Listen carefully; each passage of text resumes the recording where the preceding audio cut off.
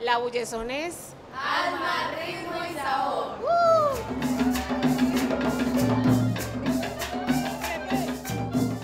En medio del sabor afrocolombiano, estas mujeres desde Medellín tienen un proyecto de bullerengue, el cual no solo habla de la importancia de preservar los sonidos ancestrales, sino que también cómo estos pueden llegar a sanar el corazón.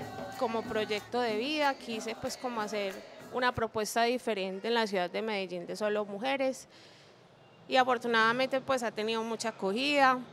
Y como les digo nace de una experiencia personal donde podemos eh, dar fe de que la música sana vidas y pues me pegué de lo que más me gustaba en su momento y quise llevarles alegría a muchos corazones más. Cuando hablamos de sanación es porque la música la utilizamos como esa herramienta de transformación para ubicarnos en el ser, en el consciente, en el subconsciente y todo aquello que creemos que no puede sanar. Pero la música ha sido como esa fuente de inspiración y esa fuente como el médico que sana todo aquello, el alma.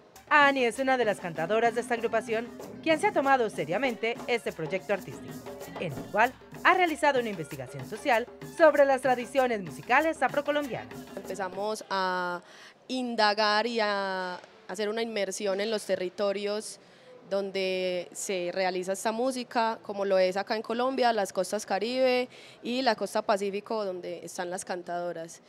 Nosotras acá desde el interior también hacemos esa investigación, también nos juntamos, como lo dijo ahorita Patri, para hacer música, no solo que sea del interior, sino también una música que nos representa como país, que es la música afrocolombiana.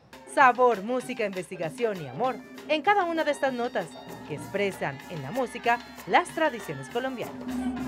Esta propuesta se puede encontrar en redes sociales como arroba la